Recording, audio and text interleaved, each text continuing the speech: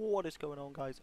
Giranathor here, and today I thought I'd bring you an updated version of the Rikka Trap Trick deck that I have been playing.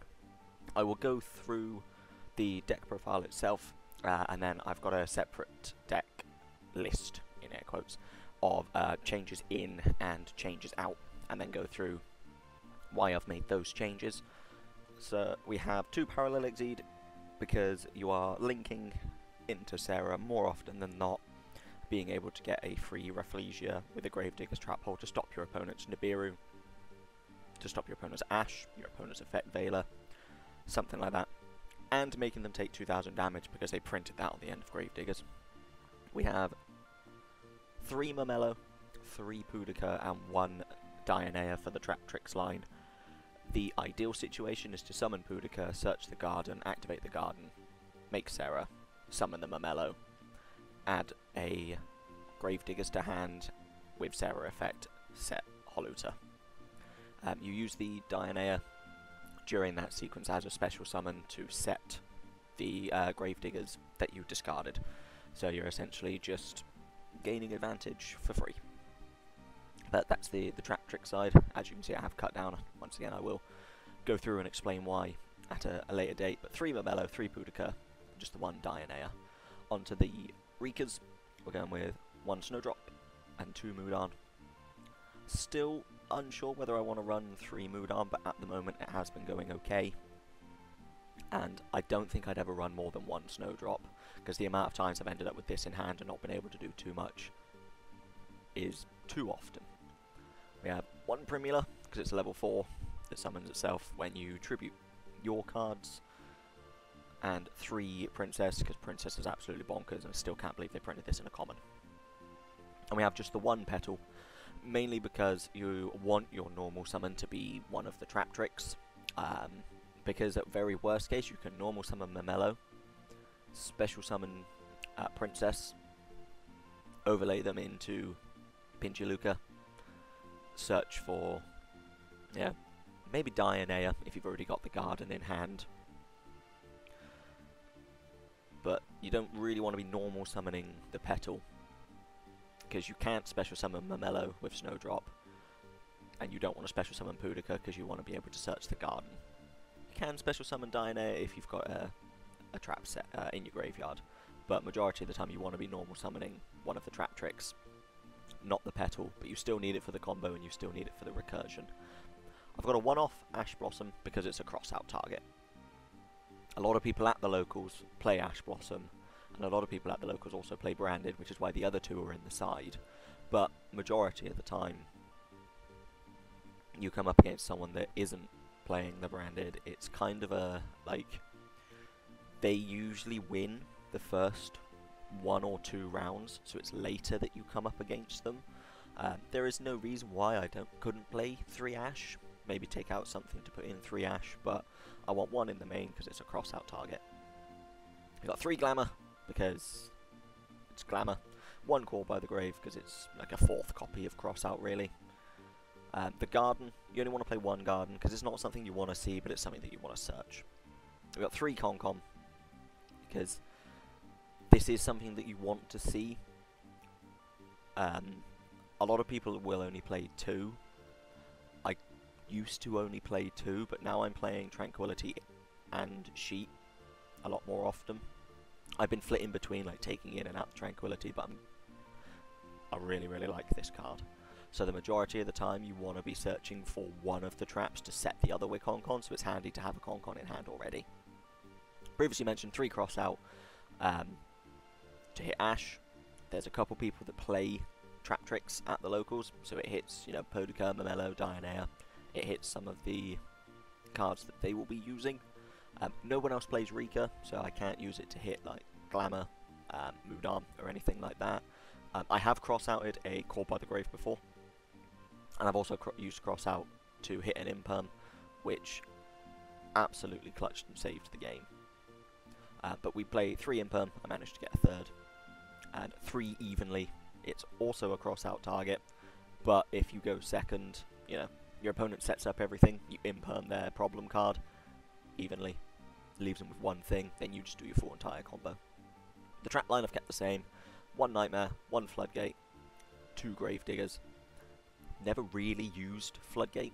Um, we have quite a lot of people that play um, like trap heavy decks. Um, we have two people to play Labyrinth. So the Floodgate can be good to hit the lady, um, but you're more than likely hitting it with the Nightmare. So I might cut down the Floodgate and put in either another Gravediggers, maybe even another Nightmare, or just a Bottomless. I think Bottomless would be a lot better than, than Floodgate, but something I'm experimenting with.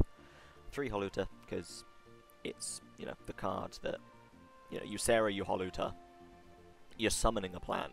You're using Sera effect to summon a Traptrix. The Traptrix effect activates and use Sera effect to set a trap. From, like, just Holuta, you get two monsters in a set.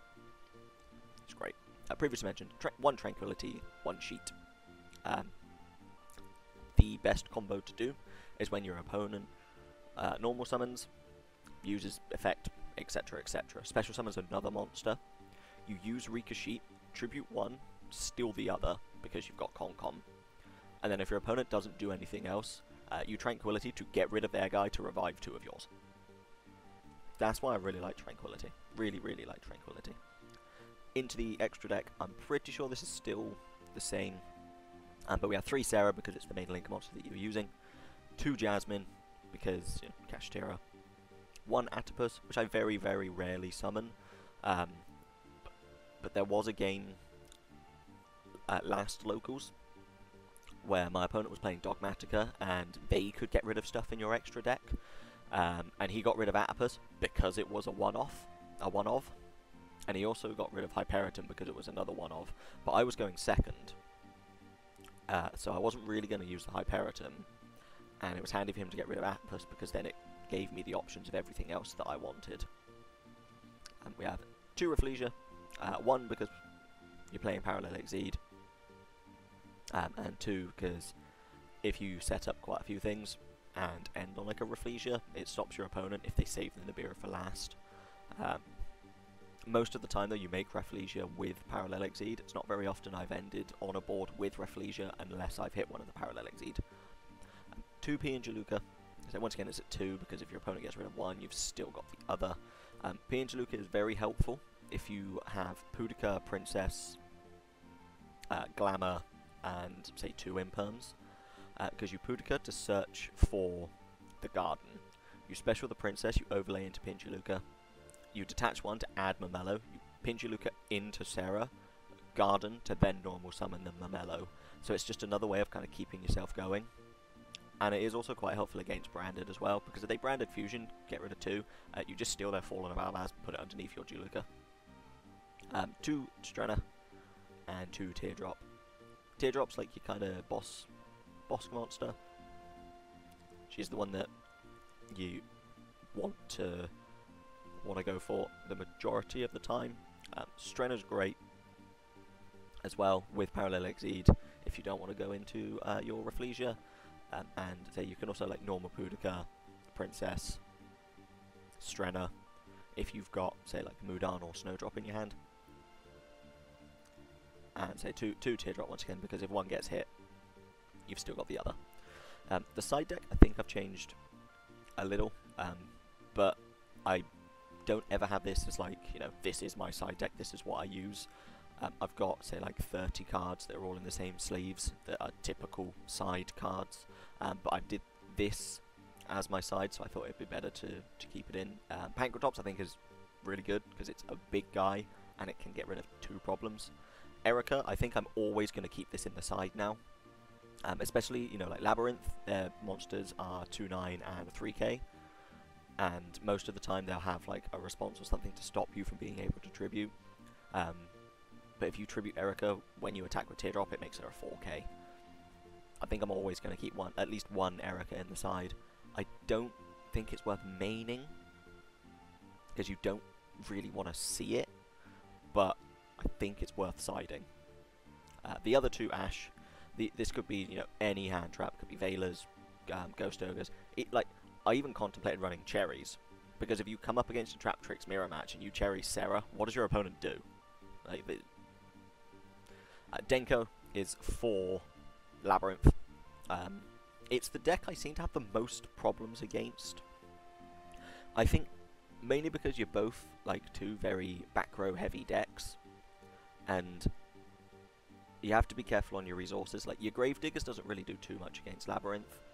The Floodgate and the Traptrix Trap Hole Nightmare do. Um, there was one game against Labyrinth where I went second and I evenly him. Uh, he just scooped because, like, you know, what do they do? I got rid of four face downs and his field spell. Like, what does he do after that? He has a singular face down. Like, but yeah, th three Denko. Um,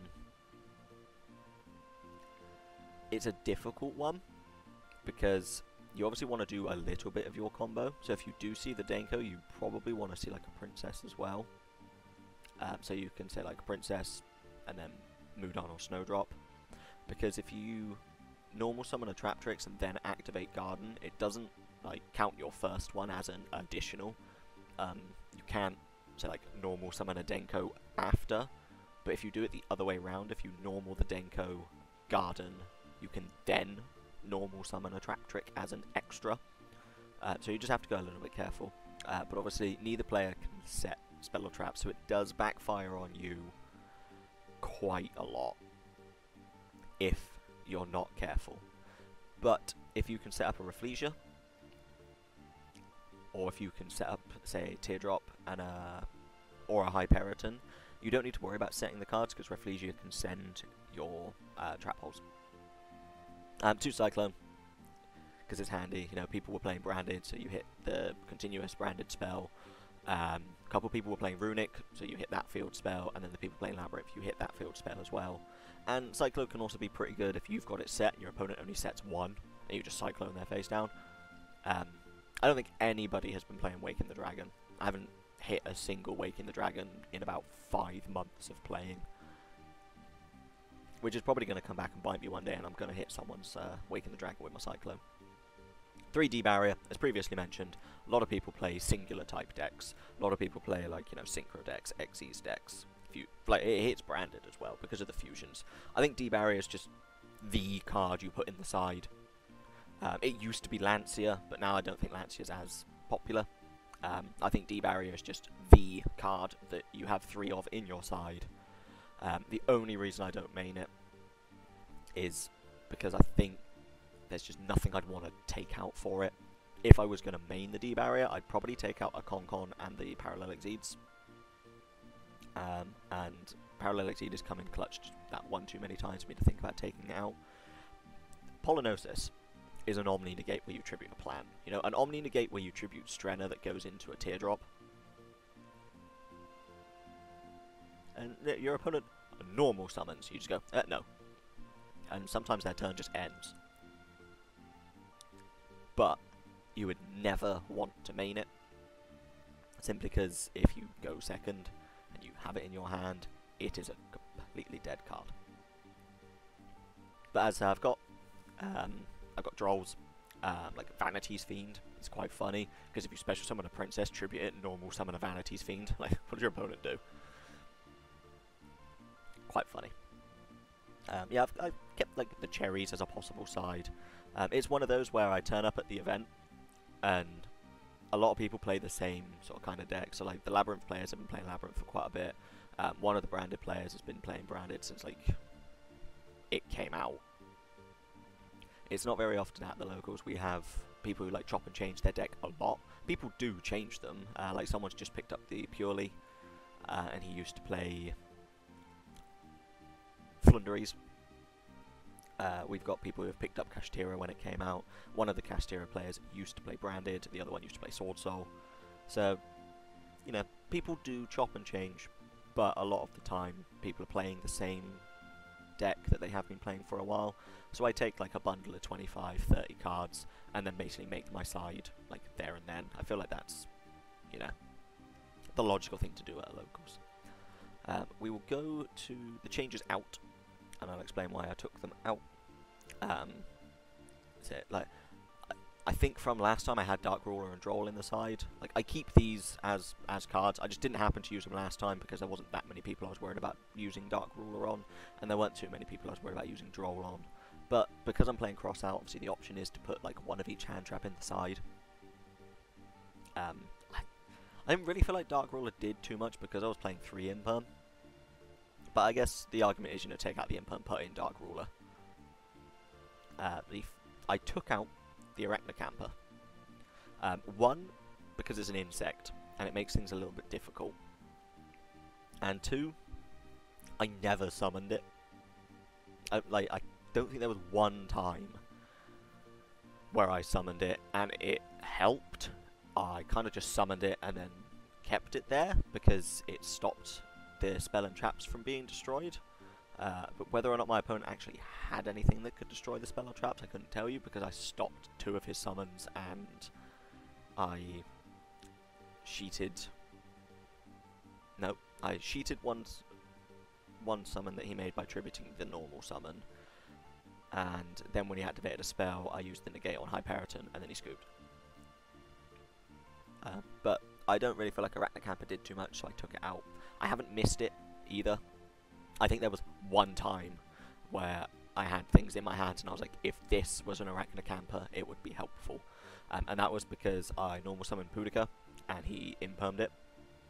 So it would have been handy to have the Arachnocampa because I had uh, Holuta and a Trap in hand. Um, so it would have been, you know, Pudica into Sera, Hold activate, Dionaea, set the spell, set the trap that I discarded, Sera activates to summon one, and then I special summon the Arachnocampa to be able to do the full combo. Um, but I said it was one time. One time. I took out double or nothing. Um, I never used it, so that's why the Utopia and Utopia double have come out as well. Um, the one chance I did have, like, the possibility of using it, I'd won anyway. And if you have the double or nothing in your hand, it is quite sad. It also meant that I could put in, you know, another teardrop, um, another jasmine. I think I had two in already, possibly. Uh, it was definitely another teardrop, so that you know, when you come up against the people playing Kashtira, you don't just lose your extra deck instantly. Um, so these two came out to put in um, other copies of extra deck cards that I needed. Um, same with Alsei. Didn't really use Alsei too much. Uh, it's kind of a like win more card. Um, you put a card like onto the top of your opponent's deck that you know they're not going to use. Uh, it means they draw it for turn, and it's kind of like a soft game. But once again, if your opponent's playing Kashtira, uh, they're probably going to hit it because it's a one-of. Uh, the guy playing the Dogmatika stuff, I think at one point he got rid of like eight extra deck monsters, so I would have got rid of it, I'll say anyway, because um, you want to keep, you know, like a Sera, a Strenna, a Teardrop, and probably a Rafflesia. Anything else you're not too worried about, uh, but it does just mean that if you're only playing to like one Teardrop and your opponent knows what the deck does, or as like the other guy, he got rid of it because I had some one-offs. I, I enjoy Alsei. I'm sad that I had to take it out, but I had to take it out. And the final thing I took out was the Trap Tantalizing Tunes. Uh, it, I know technically like it's an Ash bait, and that you can discard Princess to draw two, um, but it's a neutral unless you discard Princess, uh, because the Princess gets you the, obviously the extra effect in the graveyard as opposed to in your hand. If you had to discard another Traptrix, or if you had to discard a trap, it just felt really, really bad. And the amount of times that I wouldn't have anything to stop it, and I Tantalizing Tune, discard something, and my opponent ashed, and like, you know, you're then stuck with three cards in your hand. I just, you know, it didn't, it hindered more than it helped. There were times where, you know, I think I had Pudica in hand um, and top decked the Tantalizing Tune, and then Tantalizing Tune discarded Pudica, drew two, and I drew uh, Konkon and Petal. You know, so it, like, it did help at points, but it hindered a lot more. Um, because if you top deck it, like, yeah, if it's the only card in your hand, game over. Um, over to the changes in. Um, I'll kind of go over, like, you know, the crossouts coming clutch, which is why the Ash has gone in as well. Um, I think I've already explained why those are in. I don't think I need to go over why I've, you know, put them in as as extra. Um, I've also gone over the Primulas, why that's in as extra. But I don't know why I wasn't playing this, because if you glamour tribute your own thing, it just summons itself, and it's also quite helpful if uh, you Mudan tribute something, uh, and you have the Primula in hand, because it means you can go into like Jasmine, uh, or you can then normal summon a Traptrix and overlay them into like Pianjaluka or Strenna. So the, the Primula is very, very handy. Um, third Konkon is because I want to see this more often than not because I've put in the Tranquility. Um, I'm really surprised like more people don't play this card. I genuinely think this is one of the best cards that Rika has because you're tributing your opponent's monster and summoning two of your own. I, I don't know why more people don't play this. I know, like, technically, yes, it's a win more card, uh, but even at very, very worst case, you revive something and throw it in the way so you don't lose if your opponent's attacking you. And, you know, like, if your opponent does Utopia double and goes to run into your Sera, you can Tranquility to tribute the Sera to put two monsters in defense and just stop yourself from losing. Like, this card has helped me so much, and I really don't understand why more people don't play it. The, the extra deck, uh, I put in a Jasmine, a Pinchalooka, and a Teardrop, apparently, after taking out uh, an Alsei and the Utopia things, uh, mainly because they're extra copies of cards that I already had. Just for the Cash Kashtira matchup. And then, say, the Denkos and the Apollonosis went into the side, uh, mainly because, like, I'll probably keep Denkos in the side because Labyrinth is just such a problem. And Pollinosis, I think, is just, you know, a great card, and I don't know why I didn't have it sided already. Most of the time, you'll put it in for game three. Um, unless you lose game one, you'll probably want to put it into game two because you know you're going first. And once again, like if you get to game three, major like majority of the time you will be choosing whether you're going first or second. There are the odds, know, where you go to game three because you won game two, um, but you would just take the Pollinosis out because you would have put it in for game two. It's an Omni negate, like, and even if you have to end up tributing something that isn't Strenna, like if you're tributing just like, you know, the Sera that you've already used the effects for, because this doesn't trigger Sera because it's a counter trap. Uh, but, you know, you could you know, tribute the Sera. You could tribute a teardrop if you've already used the detach and tribute. And you could tribute, you know, like Rafflesia if you've already used the detach and activate trap. I have I've played around with it a little bit. I have enjoyed this. Uh, say I just really, really struggle against Labyrinth, but I think majority of decks like this will struggle against Labyrinth. Like, even the Labyrinth mirror match is difficult. But that is an updated deck profile. Hopefully you guys enjoyed. Once again, if you have any questions, uh, any, you know, like, how come you haven't thought about using this card? Uh, how come you're using, if I haven't covered it, how come you're using, uh, you know, one of these rather than two? Um, I know the biggest question is probably going to be like, why are you not playing three Parallel Exceed? Um, I've played Parallel Exceed that many times that when you are playing, say like three of them, and you see like two of them in your hand, it's just really really sad because it just means you ended up with a completely dead card in your hand. Um, while I've been playing two, I have never had both of them in my hand. So I prefer playing two, but I get why people play three. It's one of those where, like, if you see it, great, because you can make a Rafflesia, and you have the Gravediggers for your opponent's hand traps, but majority of the time you would have got rid of a Princess anyway. And I know the Princess means tributing something, but if you can stop your opponent's Nibiru by tributing one of your cards, or you can stop your opponent's Ash by tributing something, you know, it's not such a bad thing. So if you do hit the Parallel Exceed, great but it's not mandatory, it's not required. Um, if you were playing, say, like Pure Trap Trick, you'd probably play three. Because it's, you know, extra, more for you. But I think this deck does enough that if you don't hit the Exceed, you're okay. Um, and it was also a case, like, the Exceed was in for Utopia, because you can't make Utopia with uh, Princess, because you have to special summon plants. So the Parallel Exceed was in there, so you could Utopia double, add the double or nothing, make Utopia. I don't need to hit it, but it's handy to hit it. But thank you very much for watching. Uh, so any questions, please feel free to drop them down in the comments, and I'll see you guys next time.